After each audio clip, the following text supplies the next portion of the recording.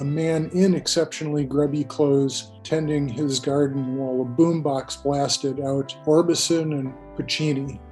Mr. Keane, a senior vice president, was making a rare trip to Marsh's World Trade Center office for a meeting on September 11th.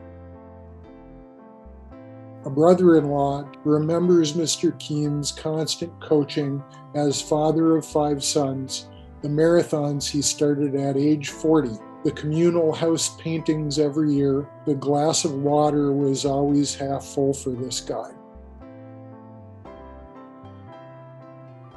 Mr. Keane, who exuded friendliness, loved to collect stories about people on his constant business travels. He believed in public transportation as a public good, was always trying to foist vegetables off on people, Mrs. Keane said.